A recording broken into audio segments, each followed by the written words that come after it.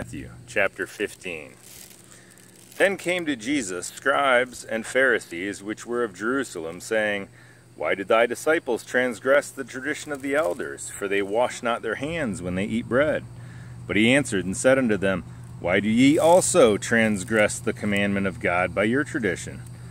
For God commanded, saying, Honor thy father and mother, and he that curseth father or mother, let him die the death. But ye say, Whosoever shall say to his father or his mother, It is a gift by whatsoever thou mightest be profited by me, and honor not his father or his mother, he shall be free. Thus have ye made the commandment of God of none effect by your tradition. Ye hypocrites, well did Esaias prophesy of you, saying, This people draweth nigh unto me with their mouth, and honoreth me with their lips, but their heart is far from me. But in vain they do worship me, teaching for doctrines the commandments of men.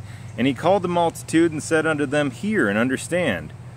Not that which goeth into the mouth defileth a man, but that which cometh out of the mouth, this defileth a man.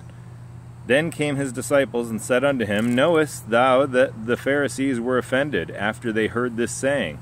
But he answered and said, Every plant which my heavenly Father hath not planted shall be rooted up. Let them alone, they be blind leaders of the blind, and if the blind lead the blind, both shall fall into the ditch. Then answered Peter and said unto him, Declare unto us this parable. And Jesus said, Are ye also yet without understanding? Do not ye yet understand that whatsoever entereth in at the mouth goeth into the belly, and is cast out into the draught? But those things which proceed out of the mouth come forth from the heart, and they defile the man. For out of the heart proceed evil thoughts, murders, adulteries, fornications, thefts, false witness, blasphemies. These are the things which defile a man, but to eat with unwashen hands defileth not a man. Then Jesus went thence and departed into the coasts of Tyre and Sidon. And behold, a woman of Canaan came out of the same coast, and cried unto him, saying, have mercy on me, O Lord, thou son of David. My daughter is grievously vexed with a devil. But he answered her not a word. And his disciples came and besought him, saying, Send her away, for she crieth after us. But he answered and said, I am not sent but unto the lost sheep of the house of Israel. Then came she and worshipped him, saying, Lord, help me. But he answered and said, It is not meet to take the children's bread and cast it to dogs. And she said, Truth, Lord, yet the dogs eat of the crumbs which fall from their master's table. Then Jesus answered and said unto her, O woman, great is thy faith. Be it unto thee even as thou wilt. And her daughter was made whole from that very hour.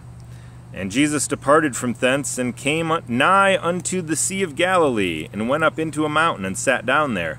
And great multitudes came unto him, having with them those that were lame, blind, dumb, maimed, and many others, and cast them down at Jesus' feet, and he healed them. Insomuch that the multitude wondered when they saw the dumb to speak, the maimed to behold, the lame to walk, and the blind to see, and they glorified the God of Israel. Then Jesus called his disciples unto him and said, I have compassion on the multitude, because they continue with me now three days and have nothing to eat. I will not send them away fasting, lest they faint in the way. And his disciples say unto him, Whence should we have so much bread in the wilderness as to fill so great a multitude? And Jesus saith unto them, How many loaves have ye? And they said, Seven, and a few little fishes. And he commanded the multitude to sit down on the ground. And he took the seven loaves and the fishes, and gave thanks, and brake them, and gave to his disciples, and the disciples to the multitude.